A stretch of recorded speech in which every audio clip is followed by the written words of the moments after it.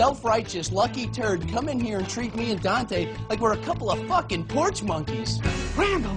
Uh, I, I'm, I'm sorry. He, he, He didn't really just say what I think he said. What? Porch monkeys? Randall! What the fuck is wrong with you? I want my money back right now. Of course. Um, you know what? Here, take this on us. No, no, no, no. I'm not eating something that was cooked by some cracker-ass hate monger. I will. Baby, you can't taste racism. What racism? Porch monkeys? You little mother.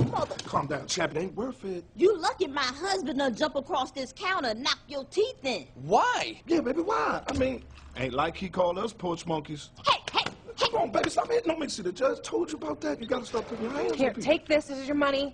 Please, take the food on us. We're sorry. Oh, uh-uh. I'm gonna write the paper about this, and all y'all getting fired up in here. Jesus. I'm gonna take the food. Thank you very much.